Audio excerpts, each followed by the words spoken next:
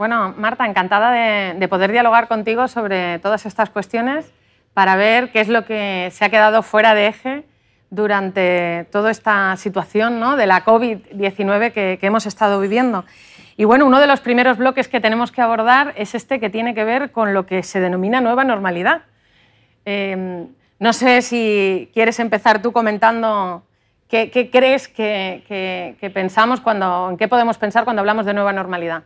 Bueno, yo en primer lugar te quiero saludar a ti, Teresa, que estoy muy contenta de mantener esta conversación contigo y que nos hayan dado la oportunidad, eh, tanto Caixa Forum como la Sullivan, de tener esta, esta conversación. Y yo te cuento un poco lo que, lo que he pensado, porque, porque creo que, que en estos momentos estamos hablando aún sin ninguna solidez, porque, porque en realidad hay muy poca, hay muy poca distancia y hasta dentro de un, de un, periodo de tiempo razonable yo creo que no seremos capaces de decir cosas medianamente inteligentes, ¿no? Pero desde el punto de vista de las, de las narrativas que yo creo que se pueden generar en torno a este, a este concepto tan, tan extraño de la nueva, de la nueva normalidad, yo identifico eh, fundamentalmente tres. No sé si tú estarás de acuerdo conmigo, luego, luego lo comentamos. Por una parte, yo creo que vamos a volver a, narraciones eh, nostálgicas, nostálgicas de, un pasado, pero de un pasado que fue ayer mismo. Y creo que es significativo esto, que el pasado sea eh, ayer mismo, porque eh, impone unos condicionantes que, pasaré a comentar rápidamente. Entonces, mm, estas narrativas nostálgicas lo, que van a, lo que van a propiciar son escenas que vamos a ver como a través de una cámara a la que le hemos puesto la media y entonces vamos a mitificar eh, e-, ese pasado que fue ayer mismo, la época, la época de las terrazas, de los cines, eh, de los abrazos, eh, de los besos.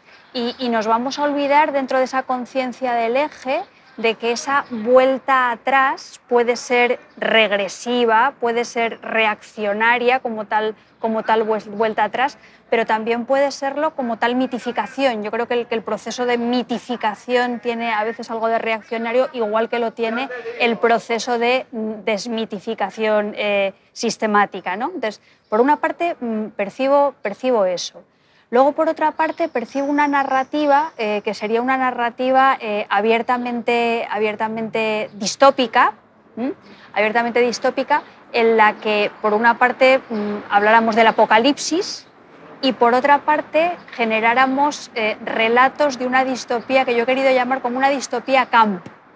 Una distopía, una mezcla de la mascarilla, el hidrogel, con, el, con el bolero, de modo que se crea una, especie de como futuro falsario extraño en el que al final eh, lo que a mí me parece representativo es esa idea de vivir instalados en el futuro que nos convierte a todos en obsolescentes, perdona, eh, prematuramente, prematuramente ancianos, prematuramente ancianas y que sobre todo, y es lo que a mí más me preocupa, clausura las ideas de eh, futuro y utopía.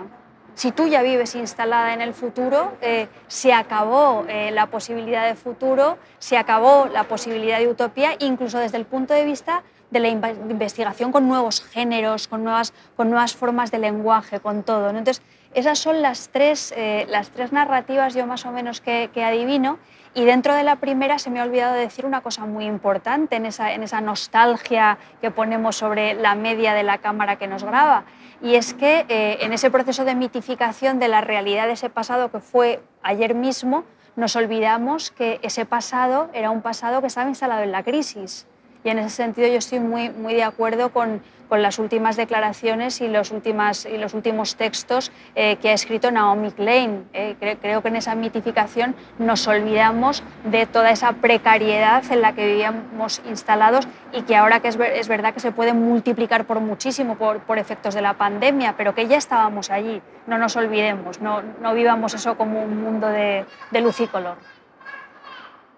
Sí, no, me parece, me parece súper importante ¿no? esto que estás comentando de, la nostalgia al pasado, ¿no? que eso de pensar que cualquier tiempo pasado eh, siempre, siempre fue mejor. ¿no? Eh, yo en mi caso, sobre todo cuando pensaba en esta idea de la nueva normalidad, ¿no? más allá de esa posibilidad de futuro kitsch, eh, de distopía camp que mencionabas, Em, sobre todo, ¿no? y más allá de, bueno, de ese futuro que nos espera dentro de lo que pasará después de la cuarta fase, en la que tendremos que ir con mascarillas y, tendremos que mantener distancias de seguridad, a mí lo que me hacía pensar, ¿no? toda esa polémica que ha surgido con la palabra, con el término nueva normalidad, lo que me hacía pensar es que tenemos un problema de base con lo que la gente entiende por normalidad. ¿no? Y a mí eso me preocupaba mucho también. ¿no? Yo creo que pensamos muchas veces que lo normal es algo inmutable ¿eh? Y, a mí hay dos palabras que me dan muchísimo pavor, que son la palabra normal y la palabra natural. ¿no? Eh, pues lo normal es algo que nosotros nos hemos inventado, ¿no? por lo tanto lo podemos reinventar, lo podemos modificar y eso no, no es malo, ¿no? es una convención cultural y social que pues, los grupos habitualmente dominantes establecen en cada momento histórico. Claro, yo cuando pienso en que antes, por ejemplo, pues no era normal que personas del mismo sexo se casaran, ¿no? O tampoco era normal que pues existiéramos profesoras que damos clase en la universidad. Eh, entonces, eh, eso actualmente es una nueva normalidad respecto a esta anterior, ¿no? Porque hoy todo eso sí que puede pasar. Entonces, eh, a mí lo que me parece normal es que cambiemos, que evolucionemos, que mutemos, que nos adaptemos biológicamente y culturalmente ¿no? a, a, todo lo que vaya pasando. A mí me parece que hablar de nueva normalidad es lo mejor que nos podía pasar, precisamente por eso que comentabas, eh, porque es que el pasado era un lugar de crisis y de precariedad. ¿Quién quiere volver ahí? Entonces, si esto nos da pie a pensar en algo nuevo, lo nuevo no nos tiene que dar miedo. Eh, siempre nos da miedo ¿no? lo nuevo porque es diferente, genera incertidumbre porque no lo conocemos. Tampoco eso significa que lo nuevo sea inherentemente algo mejor. ¿no? Lo que tenemos que hacer ahora precisamente es diseñar y pensar cómo queremos que sea esa nueva normalidad, ¿no? ese nuevo futuro que, vamos a tener que construir y que tenemos que pensar eh, muy bien ¿no? Eh, qué es lo que ha fallado precisamente eh, en ese pasado y sobre todo a partir del estado de bienestar ¿no? y de las políticas públicas que necesitamos que se adapten y que creen esa, esa nueva normalidad. ¿no? Margaret Atwood en el cuento de la criada, en el prólogo explicaba que ella pues, digamos que se crió en, en el contexto de la, de la Segunda Guerra Mundial ¿no? Y que eso le hizo ver que el orden establecido puede cambiar de la noche a la mañana. ¿no? Como tú decías, estamos hablando de que todo ha cambiado en relación a un pasado muy reciente. ¿no? Y, bueno, ella decía, ¿no? frases como la de aquí esto no puede pasar, pues hemos visto que no funcionan, porque todo puede pasar de repente en cualquier lugar ¿no? y, las cosas pues, pues cambian. Pero, pero bueno, simplemente lo nuevo es que llegamos a un lugar diferente y, eso significa que nos da posibilidades eh, y probabilidades ¿no? de pensar en que las cosas pueden cambiar. Y, bueno, yo creo que eso es algo eh, fascinante ¿no? y motivador.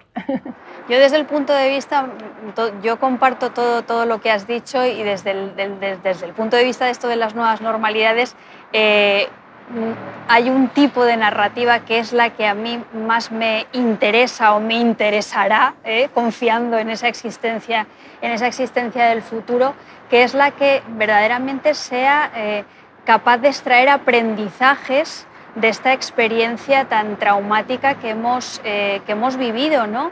que desde la conciencia de la, de la, precariedad y de la conciencia de la historia, del pasado, del presente, de la, de la posibilidad del futuro, normalice la idea de la solidaridad ya sea de, esa solidaridad gratuita o de la solidaridad forzada de la que se habla en la Unión Europea o de la que habla o de la que habla Zizek, ¿no? Yo espero que, se instalen ese tipo de narrativas y que también se subrayen mucho las narrativas que tengan que ver con eh, el retrato y la reflexión sobre la teoría de los cuidados, sobre la teoría de los cuidados entendida eh, tanto desde un ámbito familiar, tanto desde un ámbito íntimo, como desde un ámbito eh, gubernamental y, general. Esto, esto, para mí es, es, fundamental en las narraciones, en la vida y en cómo la vida y las narraciones van de la mano.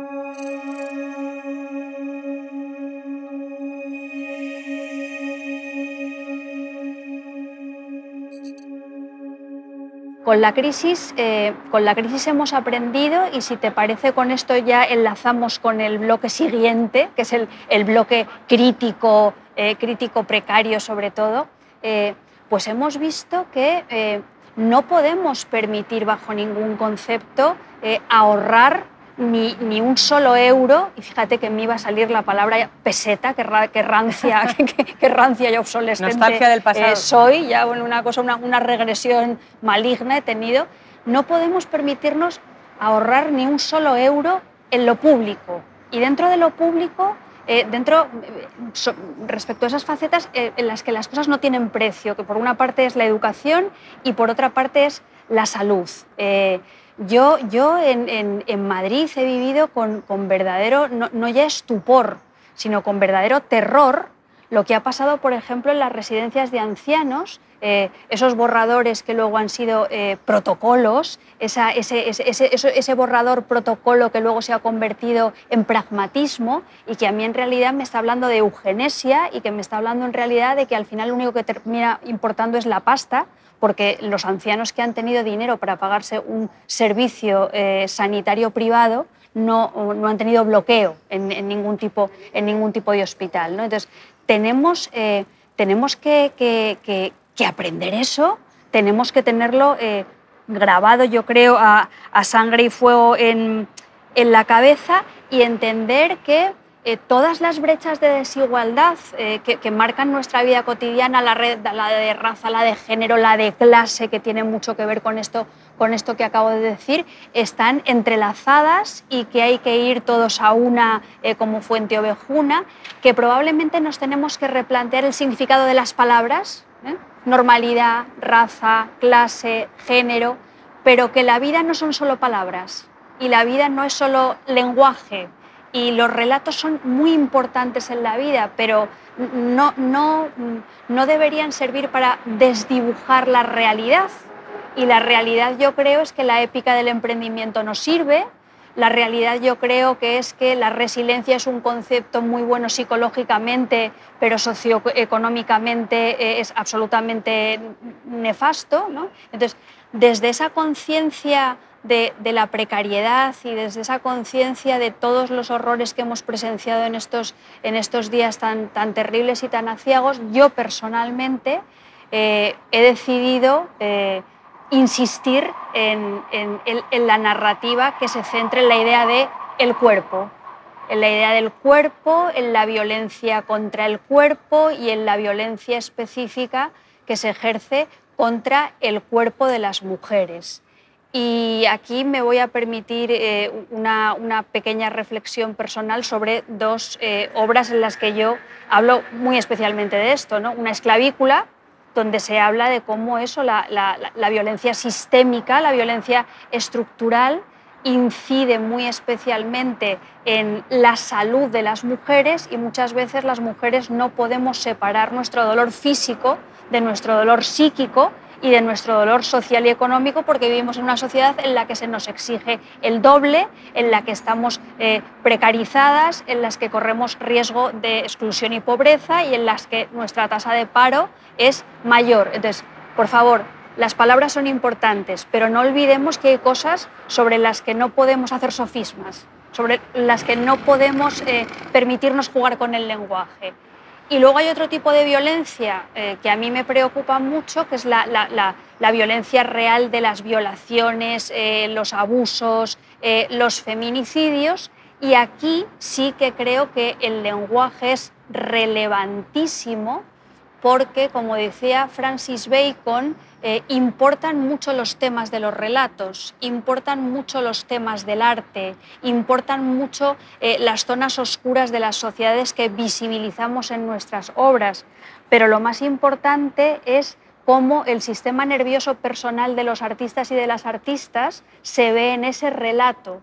Y ese sistema nervioso personal se ve a través de la elección de los modos de representación. Entonces, yo creo que, por ejemplo, la violencia contra el cuerpo de las mujeres se ha normalizado en la vida cotidiana porque en el relato se han optado eh, por ser representada por unas, con unas formas de representación dulces, agradables, eh, morbosas, estupendas. Entonces, la crisis, eh, la precariedad, tiene que mm, hacernos ser más, como diría, por una parte, militantes de la realidad, pero sin descuidar ese lenguaje que que nunca es inofensivo y que es importantísimo porque no solo refleja realidad, sino porque además la, construye.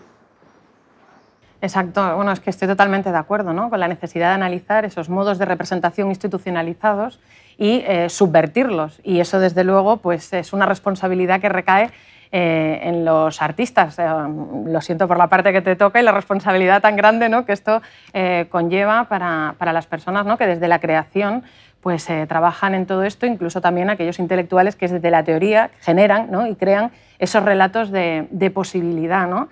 Eh, bueno, cuando hablabas de esas carencias que, la crisis sanitaria y social ¿no? ha puesto sobre la mesa, eh, yo estoy absolutamente de acuerdo contigo. Lo que ha hecho esta, esta epidemia ha sido, de una manera más fuerte, visibilizar esas desigualdades que ya estaban ahí ¿no?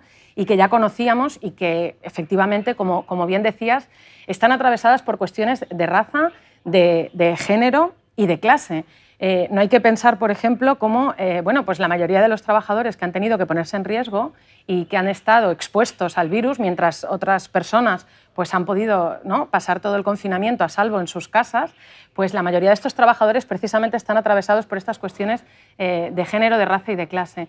por poner un ejemplo de género, por hacer alusión también a lo que tú comentabas, ¿no? la cuestión de las mujeres y de los cuerpos de las mujeres, la mayoría de, las enfermeras, auxiliares de enfermería que trabajan en residencias de ancianos o cajeras de supermercados son mujeres. ¿no?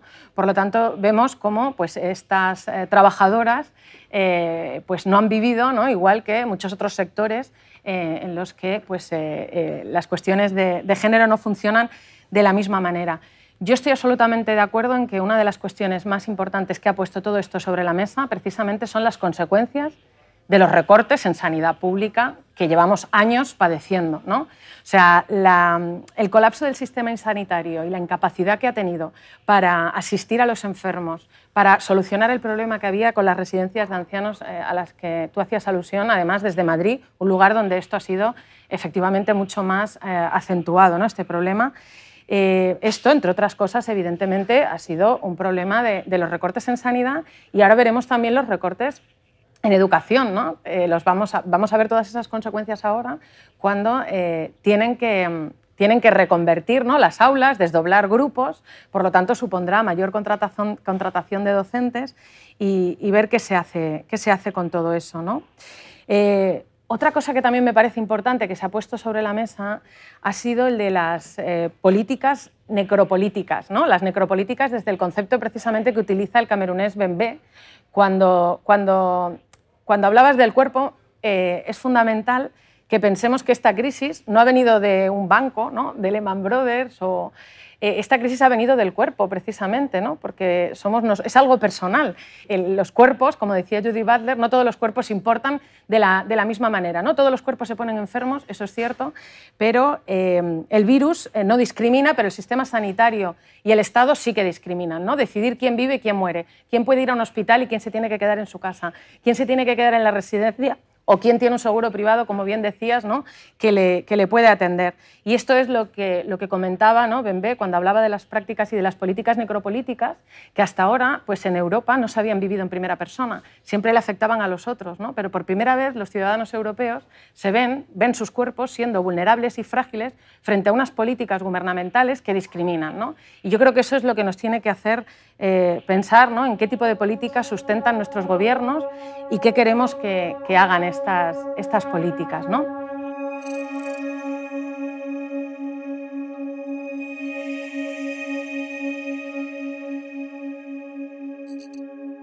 Yo creo que de todas maneras, claro, todo, toda esta reflexión sobre el cuerpo, sobre la enfermedad, que, va a dar lugar, insisto, a, muchísimas patologías que nada tienen que ver con una hipocondria risible, sino que tienen que ver con cómo los seres humanos vivimos en un contexto y ese contexto es un contexto también natural y ecológico, pues yo creo que también esta, esta, esta crisis sanitaria ha tenido mucho, mucho que ver con la depredación de determinados espacios la colonización, la, invasión eh, del ser humano de espacios que no le corresponden ¿eh? y que entonces entran en contacto eh, con, una serie de, virus que viven en reservorios animales que hacen que tú pues, no, estés inmunizado a determinadas, a determinadas cosas. Entonces, creo que cuando hablamos de naturaleza, cuando hablamos de ecología, cuando hablamos de la relación del cuerpo con, con lo que es el cuerpo, que es naturaleza, también hay un componente eh, económico, también hay un componente sistémico que puede ser enormemente disruptivo. Y aquí entro, fíjate, creo que es en el otro bloque, que es esa relación entre la distopía, la utopía. Hay muchas teorías en este momento eh, conspiranoicas, hay muchos, hay muchos relatos que, que, juntan la, la no, sé cómo calificar, una maligna ciencia ficción de que vamos a ser perseguidos por chips que nos ponen en vacunas y que meten esto eh, al lado de los presidentes de los gobiernos que nos dicen que nos inyectemos hidrogeles y que a la vez recuperan la idea del diablo. ¿eh? Y nos dicen que esto es una cosa del, diablo y que, en fin, que, hemos vuelto a un mundo, fíjate, en el que por una parte se subraya eh, la ciencia, pero por otra parte estamos con las conspiraciones y con las supercherías eh, más, más medievales. ¿no? Entonces, en ese juego que hay permanente entre la distopía y la utopía, yo tengo un poco de miedo de que a veces lo pintado se coma a lo vivo y que pensamos que vivimos eh,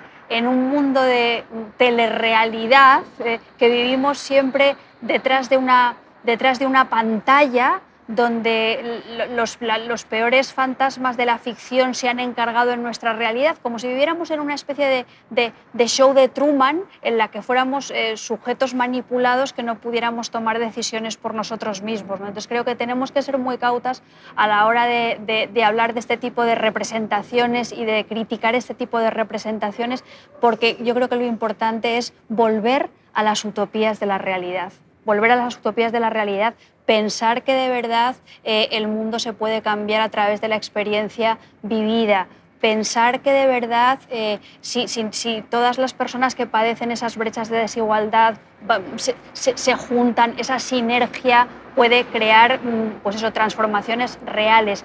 Y pensar también que desde dentro de la literatura, desde dentro de los relatos, desde dentro del lenguaje, eh, tenemos la capacidad de reflejar, tenemos la capacidad de construir, tenemos la capacidad de sacar a la luz los elementos de la ideología invisible que siempre coincide con una ideología hegemónica que al final es la que, la que, la que nos daña eh, y la que de alguna manera nos mete en la cabeza eh, discursos publicitarios respecto a lo que, es la, lo que es la normalidad que al final nos terminan inmovilizando y nos terminan eh, dañando desde ese miedo generado desde la superchería o desde la idea de que no hay, no hay más allá, no hay, no hay, no hay futuro. ¿no?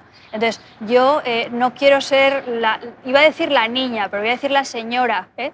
que se queda detrás del cristal. Yo no quiero ser la niña que establece vínculos débiles a través de las pantallas, sino que a mí me gustaría que esto nos sirviera para romper las lunas de los escaparates, romper los cristales eh, eh, y, manifestarnos de otra, de otra manera. Sí, eh, bueno, de hecho, esto que comentas y esas relaciones que tenemos ¿no? a través de las pantallas y la necesidad también de atravesarlas y subvertirlas, ¿no? yo creo que hay ahí dos cuestiones importantes. porque, claro, el imaginario de la ciencia ficción, como decías, ¿no? a veces nos sitúa en, escenarios distópicos y lo que hacen falta urgentemente ahora y más que nunca son relatos eh, utópicos. ¿no?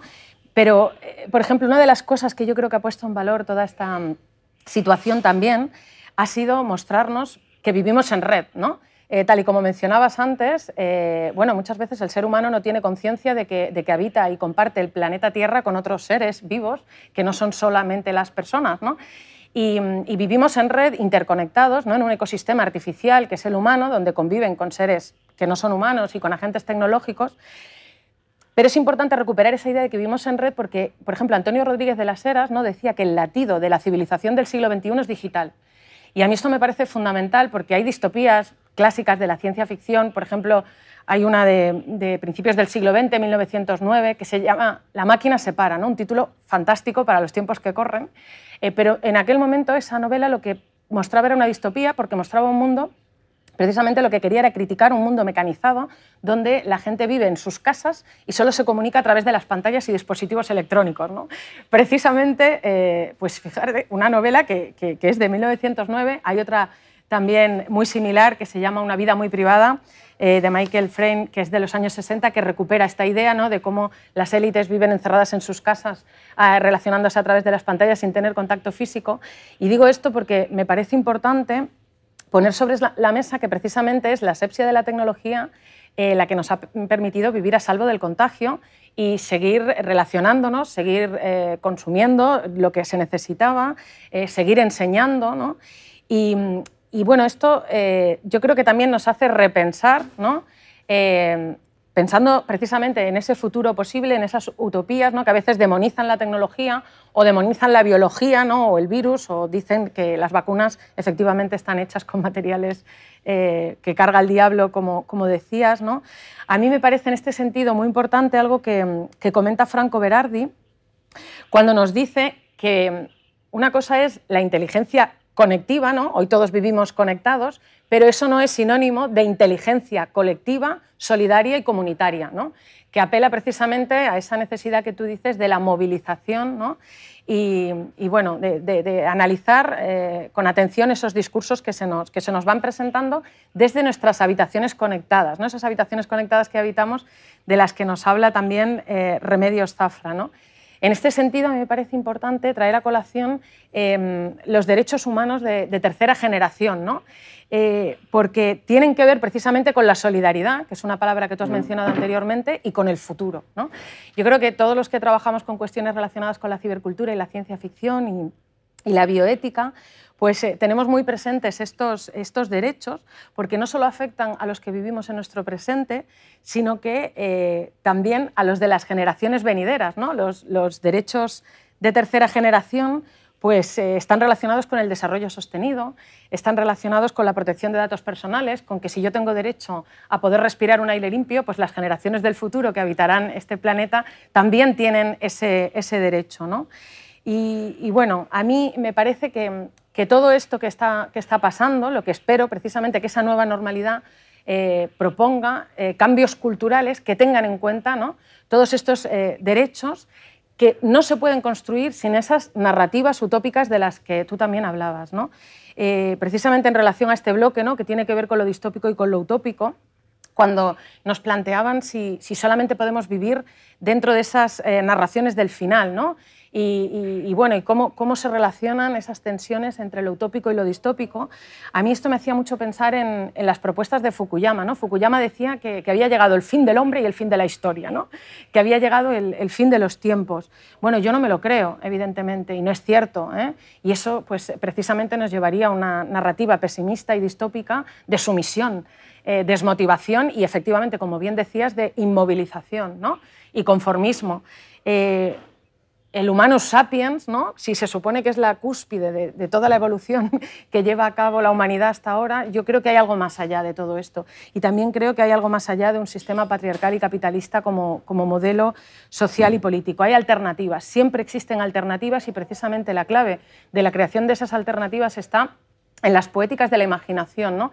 tal y como las denomina Remedios Zafras y que, que son esas narrativas de las que tú, de las que tú estabas hablando. ¿no?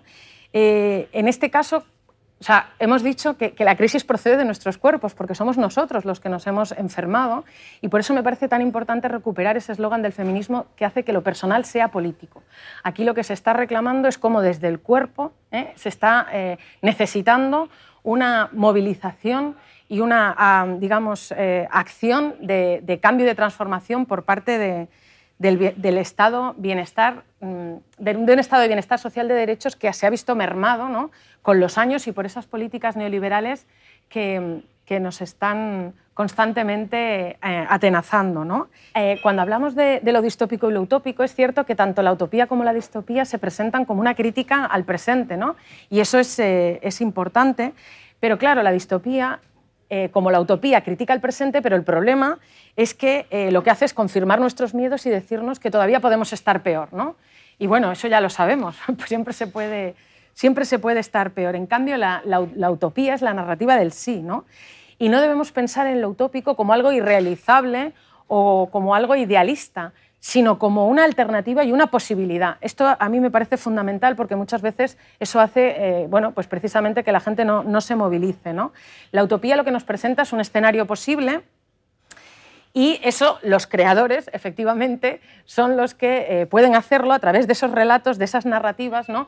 Cuando la ficción nos propone una alternativa, los demás podemos eh, imaginarlo, nos podemos identificar con eso y podemos luchar por la viabilidad de, esa, posibilidad. ¿no? Porque, como bien decías, la representación es performativa, contribuye a la configuración de la realidad e instala ideas en nuestras mentes. ¿no? De ahí que sea tan importante analizar los discursos de la cultura popular, de la literatura y, de, y del cine.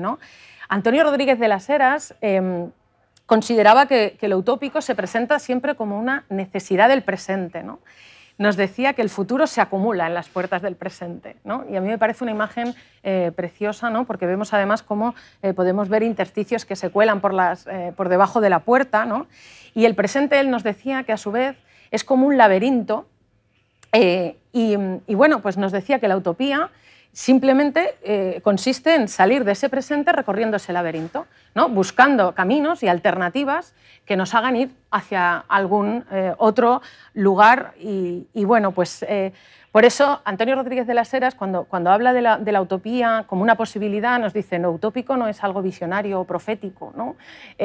sino que es una motivación. Y a mí me parece que esto es clave para entender eh, cómo debe funcionar el pensamiento utópico y los relatos utópicos, tanto desde la teoría como, como desde la ficción. ¿no? Por lo tanto, si la utopía es una motivación que nos permite pensar en esa posibilidad del futuro, nos muestra un lugar que podemos habitar ¿no? de alguna manera y, eh, por lo tanto, lo que nos dice es que el futuro hay que construirlo y aquí lo que tenemos que pensar es cómo lo vamos a hacer, cómo lo vamos a construir. Ahí a mí me gusta siempre apelar a, Donna Haraway, ¿no? que dice que tenemos que construir esas narrativas utópicas del futuro que nos ofrezcan esas posibilidades desde la responsabilidad, ¿no? desde la habilidad de ser responsables. Sí, no sé si... Bueno, a mí yo, me interesa muchísimo todo lo que, lo que nos has comentado. Por ejemplo, al hilo de lo, que, de lo que has dicho de Fukuyama, yo creo que, claro, es que Fukuyama era un, un pensador muy, muy condicionado por toda, por toda la posmodernidad, la crítica a los metarrelatos, el, el, el fin de las ideologías y yo creo que de algún modo de aquellas lluvias vienen estos lodos. Eso, eso, se, ha, eso se, se ha instalado en la conciencia colectiva, demonizando el concepto de ideología, pensando que la ideología es mala, eh, identificando todo lo ideológico y lo malo con todo lo que tiene con lo que es eh, progresista eh, o, de izquierdas y eso al mismo tiempo se ha mezclado como, como una especie de ¿cómo, diría yo? Eh, una conciencia eh, selectiva respecto al control que tiene que ver con las nuevas tecnologías. ¿no? Yo eh, en los últimos tiempos me, me he sentido un poco escandalizada con cómo la gente tenía mucho miedo a ser controlada eh, por los asuntos que tenían que ver con la pandemia, con cómo la gente ponía en tela, eh, en tela de juicio su, su, libertad y la reivindicaban. Y, tú pensabas, pero ¿para qué te quieren cerrar un gobierno? y, sin embargo, eh, no ponen en tela de juicio la, la libertad, la libertad que, que tú estás poniendo en riesgo en Internet cuando compras o vendes. Eso se da por supuesto, eso se tiene completamente, completamente interiorizado y forma, y forma parte de, de los seres humanos que somos. Entonces yo estoy absolutamente de acuerdo contigo en que hay que repensar el estado de cosas, que hay que repensarlo desde, desde la idea de la posibilidad de una utopía como horizonte de la posibilidad de una verdad como horizonte en la época, en la época eso del bulo, en la época de la, de la prisa, en la época de un relativismo que lejos de ser eh, plural, lo que termina siendo es paralizante, como, como las distopías de las que estábamos hablando.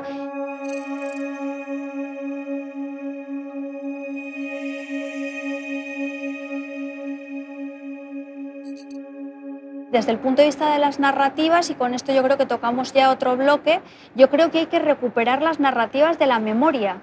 Frente a la, a la nostalgia, yo creo que hay que recuperar esas narrativas de, de la memoria que hablan de nuestro cuerpo y que hablan de, de, nosotros y de nosotras como seres humanos, eh, que somos el resultado de una confluencia, de un conglomerado de voces que nos habitan, de voces que, que, fueron eh, y que están dentro de nosotros, de una, una, confluencia de relatos, los relatos de nuestras madres, los relatos de nuestros padres, eh, la historia oficial, las leyendas, la historia alternativa.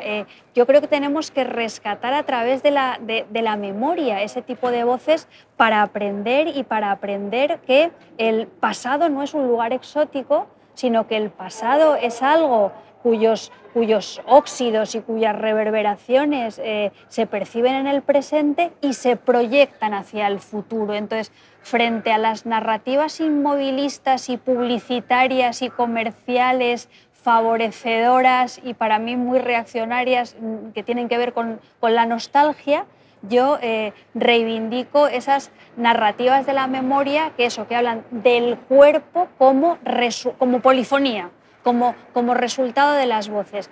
Y esto enlaza con otro tema que me parece fundamental va a haber, eh, o, estábamos ya viviendo una vuelta muy importante al relato autobiográfico. Y el relato autobiográfico, en el caso de las mujeres, eh, pues, pues, se relacionaba con la necesidad de eh, iluminar los espacios obscenos, lo que siempre había estado fuera de, escena, lo que siempre lo, que se había mantenido al margen del canon literario. Entonces, mm, yo creo que los relatos autobiográficos y los relatos del cuerpo se relacionan con esa mentalidad feminista donde efectivamente lo personal es político y que eso frente a lo que se pueda pensar eh, es la antípoda perfecta del onanismo literario. Cuando yo hablo eh, de mí y hablo de mi cuerpo y hablo de las zonas oscuras de mi cuerpo y que es de eso que nunca se ha contado en, la literatura y que a lo mejor ahora es un momento buenísimo para contarlo porque estamos eso, centrados en nuestras patologías y vemos que esas patologías están conectadas con la realidad y con el mundo, cuando yo hablo de mí estoy hablando de todas las demás y de todos los demás. Yo en este sentido eh, creo que el, escritor Andrés Neumann lo, lo, dijo muy bien cuando él contaba que eh, eh, la primera persona del nosotros es el, nosotros el yo, o el, yo es la primera persona del plural. No me acuerdo exactamente muy bien cómo lo decía. Entonces, yo, por ejemplo, siempre que he escrito literatura autobiográfica, o muchas veces que leo literatura autobiográfica y centrada en el cuerpo, escrita por otras mujeres, eh, las veo a ellas pero las veo, lo que veo sobre todo es su silueta dibujada en un fondo. Estoy viendo el fondo, estoy, ese, estoy viendo ese, ese lugar conflictivo que, alumbra la literatura en el, que el mundo interior, en el que la, introspección eh, se pone en contacto con el fuera, con la historia, eh, con el marco ideológico y de ahí surge el conflicto. Entonces, cuando la gente piensa que la literatura autobiográfica no puede ser política, cuando la gente piensa que la literatura autobiográfica siempre es eh, individualista, yo creo que ahí hay, hay, un error, ¿no? Hay un tipo de literatura autobiográfica edificante y ejemplarizante que sí que podía ser eh, bastante ombliguista, pero yo creo que ahora en, ese, en ese retrato tan, humano, en, esa confesión de las, de las vulnerabilidades, en esa, en esa, en esa no sé, en ese, en ese mostrar nuestras partes eh, blandas y cómo nuestras partes blandas están en contacto con el mundo, pues hay, hay, una, hay una posibilidad de, de lucidez política eh, que, quizá a través de, otros géneros eh, no, se pueda, no se pueda alcanzar. ¿no? Y por otra parte también pienso que quienes escribimos y quienes, y quienes pintan y quienes hacen películas y tal, siempre están atravesados por una pulsión autobiográfica que es ideológica, siempre están atravesados y atravesadas por las geografías de su escritura que luego cristalizan o vienen esas máscaras de la ficción que te ayudan a ver mejor eh, las cosas que suceden o bien cristalizan en un discurso autobiográfico que no es culpable por ser autobiográfico. Y esto, esto me parece muy, muy importante resaltarlo, porque hay veces que te tienes que estar permanentemente justificando cuando intentas, eh, yo que sé, desarrollar un tipo de escritura eh, más, más, más, intrépida o más, más alejada de lo que las personas esperan que tiene que ser la escritura literaria. Bueno, has mencionado muchas cosas. He ido anotando, no sé si voy a poder agotar todos los hilos que, has abierto. ¿no? bueno, Claro, me parece importante esto que comentabas en torno al miedo que ha surgido ¿no? por el control a partir de estas interacciones que hemos llevado a cabo eh, a través del, ciberespacio.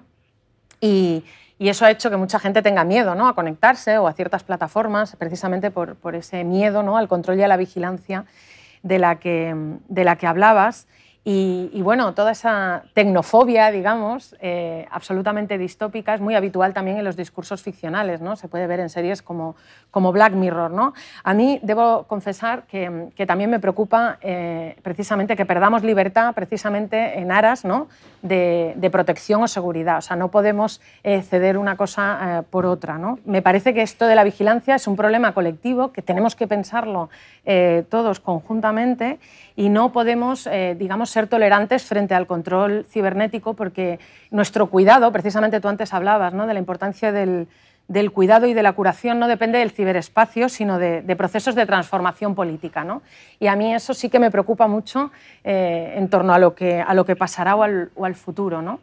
Y en relación a, a la memoria, como bien dices, es fundamental. A mí también me parece importantísimo. ¿no?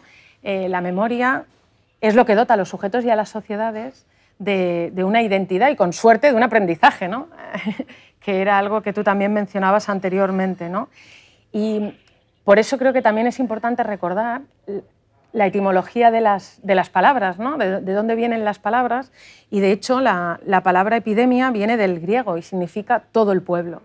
A mí esto me parece importante también recordarlo porque hace referencia a todos los humanos. ¿no? Y es algo, por lo tanto, que nos afecta a todas las personas que habitamos el planeta Tierra. Todas las personas que habitamos el planeta. Eso nos permite recordar de nuevo que el planeta no lo habitamos solo eh, las personas, ¿no? que convivimos con otros seres vivos y también con agentes eh, tecnológicos. ¿no? Esto eh, lo comentaba porque no podemos siempre vivir de la memoria, tampoco podemos vivir en el pasado, ¿no? como bien decías al principio, esas narrativas que mitifiquen la nostalgia. ¿no? Eh, pero tampoco podemos vivir constantemente en el presente. Todo esto que está pasando también puede hacer, hacernos pensar, ¿no? ¿no? podemos pensar en el futuro, hay que vivir el presente, no se pueden hacer planes, ¿no? porque siempre puede pasar algo terrible. Bueno, no podemos permitirnos tampoco narrativas del carpe diem, ¿no? Eh, que nos harían pues, eh, ser absolutamente narcisistas y hacer de nuestro modus vivendis un presentismo que también bueno, que no nos lleva hacia ningún lugar yo creo que la pandemia que hemos vivido nos ha situado precisamente fuera de eje, ¿no? por traer a colación el, tema del diálogo que nos ha traído, que nos ha traído hoy aquí. ¿no? Esta distopía médico-vírica, de alguna manera, lo que ha generado es un movimiento, un desplazamiento de muchas cosas eh, que conocíamos hasta ahora. Y me interesa mucho esa palabra movimiento, precisamente porque Bifo, eh, Franco Berardi Bifo, ¿no? en su ensayo titulado Futurabilidad, habla del movimiento como un momento de conocimiento. ¿no? Un movimiento es un desplazamiento de algo de un punto a otro y cuando se produce ese desplazamiento el observador de pronto puede contemplar algo que antes no veía y eso genera conocimiento. ¿no?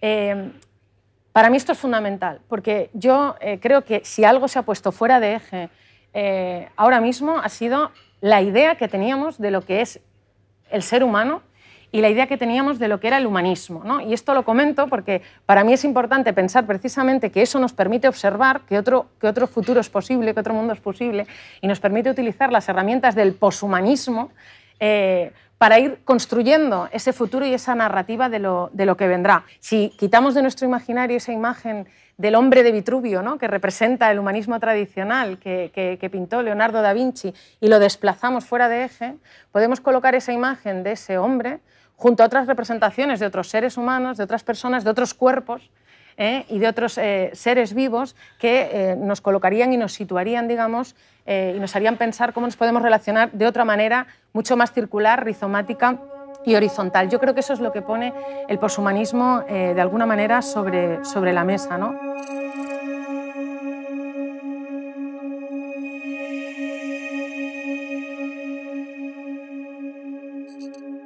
Yo lo que creo, lo que, espero que haya quedado fuera de eje para, ir llegando a esta última parte de, los bloques de los que tenemos que hablar, es eh, precisamente eh, esa idea de, del humanismo y, esa idea de lo que hasta ahora entendíamos que significaba eh, ser eh, humanos. ¿no? Yo creo que el poshumanismo debe, en ese futuro posible, desplazar al humanismo tradicional y a partir de aquí creo que podemos iniciar un nuevo camino y hacia un futuro poshumano en el que prime la tecnología comunitaria, la justicia social, el feminismo y la ecocrítica. Yo creo que es posible.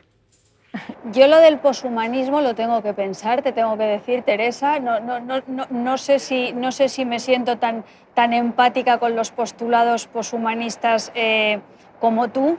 Y un poco para, para clausurar ya eh, eh, los bloques y hablando, en este caso de los ejes, de los ejes temporales, a mí me parecería un error, como tú muy bien has dicho, caer en el carpe diem. Me, parece exactamente lo mismo que a ti. Creo que es un narcisismo y un, endiosamiento eh, absolutamente inútil. Creo que es muy, muy importante eh, revisar críticamente el pasado, porque la revisión del pasado lo que nos hace es tener sentimientos de pertenencia y arraigo que tienen que ver con la cultura como cultivo ¿eh? y no pensar que estamos eh, permanentemente eh, descubriendo el huevo, esa conciencia de la cultura, del cultivo, de lo, de lo profundo, de, lo, de lo no epidérmico, yo creo que en definitiva es lo que termina construyendo el sentido crítico que nos permite abordar las nuevas tecnologías en su justa medida porque yo considero que por una parte las nuevas tecnologías son, han, sido, eh, han sido durante estos días algo absolutamente fundamental para que, para que mantuviéramos los vínculos humanos, pero creo que también es una posición papanatas, y no estoy hablando de ti, ¿eh? ojo que conste, eh, ser absolutamente acríticos con, con, la tecnología. La tecnología tiene muchas cosas discutibles. Tú has citado eh, a, a Byung Chung Ham, el, el, insigne coreano, y es verdad que en su, en su ensayo psicopolítica, creo que es, habla de la gran capacidad de manipulación y de, y, de, dirección del, del, del voto en función de las informaciones que capaz de abstraer el, el, algoritmo cuando se supone que los seres humanos estamos ejerciendo nuestra máxima libertad, cuando decimos me gusta o no me gusta. Resulta que cuando tú estás eh, aparentemente ejerciendo tu máxima libertad es cuando estás siendo máximamente controlado. Entonces, todas esas cosas naturalmente hay que tenerlas en cuenta porque es cierto que eh, esto va a empezar a formar parte de nuestra normalidad, nueva, vieja o regular. pero pero, pero creo que la, que la conciencia del, del pasado, como decía, proyectado en el presente y en el futuro va a ser absolutamente fundamental. Y luego, como persona que hace relatos, eh, eh, yo creo que los constructores, los, constructores y las constructoras de ficciones, cuando, cuando proyectamos ideas sobre el futuro, no nos sentimos tanto eh, mm, como la Sibila de Cumas, como, como Cassandra. Yo creo que hay un poco, un poco la sensación esa de que eres, de que eres Cassandra, de que puedes, de que puedes avanzar determinadas cosas porque tienes conciencia del presente, porque eres una observadora del presente y eso a lo mejor te permite, mm, eh, pues eso, hacer prospecciones respecto a esos miedos tuyos que son los miedos de, los miedos de, todo el mundo. Entonces, en el caso de, en el caso de la vivencia que hemos tenido durante estos tiempos de, de la pandemia, eh, yo creo que todos y todas nos hemos sentido tremendamente invadidos, tremendamente, tremendamente invadidas y retomo lo que decía al principio. Eh, tenemos que intentar salir de ese, de ese bucle, eh, tenemos que intentar eh, superar, superar esa, esa absoluta, absoluta colonización de la idea de enfermedad y pandemia de todos nuestros, nuestros relatos eh, y tenemos que intentar mm, pensar en el futuro de una manera positiva. Eh, yo yo eh, quiero, quiero, ser optimista, soy, creo que soy una optimista cognoscitiva, por eso soy todavía un poco humanista, porque creo, creo mucho en el, en el optimismo, en el optimismo cognoscitivo. Y, bueno, pues, pues, pues, pues nada más, pues que cuando, que cuando hacemos eso, cuando hacemos pronósticos, cuando hacemos, cuando hacemos eh, pues eso, eh, profecías de lo, que, de lo que puede pasar, que por favor que no se nos, que no se nos trate como Cassandra, sino como otra cosa diferente. Sí, no, no, puedo estar más de acuerdo y, seguramente eres más, poshumana de lo que, de lo que crees. ¿eh? Eh, claro, el poshumanismo, el poshumanismo crítico no, no es tecnoutópico ni mucho menos, es absolutamente crítico con la, con la tecnología y, precisamente eh, lo que critica es cómo el capitalismo también se ha hecho eco de la explotación biogenética y de muchas cuestiones que han traído los nuevos avances en ciencia y tecnología.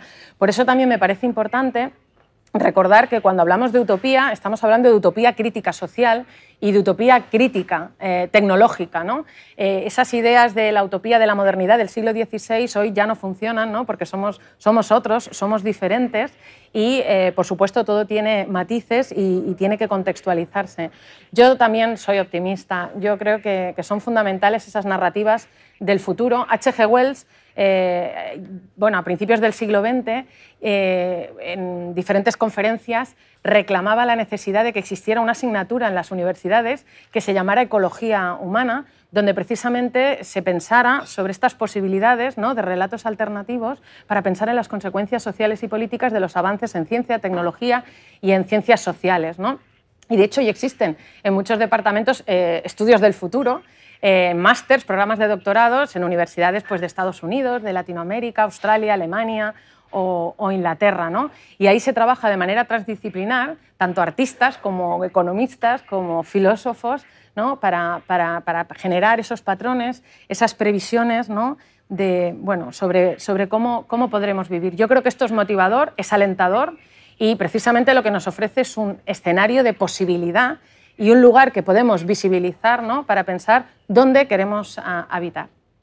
Yo desde luego, eh, eh, completamente de acuerdo contigo, eh, insisto, no podemos pensar que estamos instalados en el futuro porque si pensamos que estamos instalados en el futuro significa que el futuro no existe y eso es lo más reaccionario del mundo.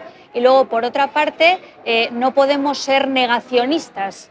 a mí me preocupa mucho cuando Bolsonaro habla del costipadiño o cuando hay personas que creen eso, que el gobierno nos ha confinado por oscuras eh, razones eh, conspiranoicas.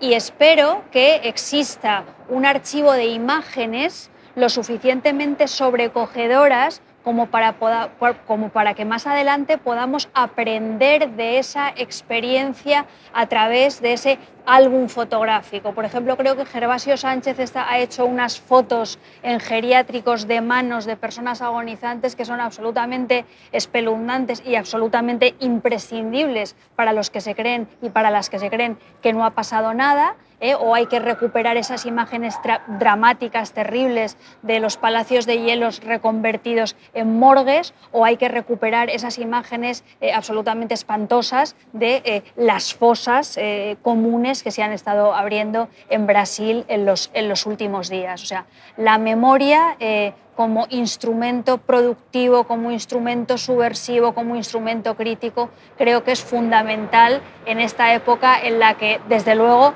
esto no es el futuro. Bueno, efectivamente, ¿no? estoy absolutamente no puedo estar más de acuerdo con, con, todo lo que has dicho. ¿no? La memoria es fundamental precisamente para crear el futuro y que no se repitan cosas como las que has estado mencionando. Un placer de verdad y muchísimas gracias. Chao.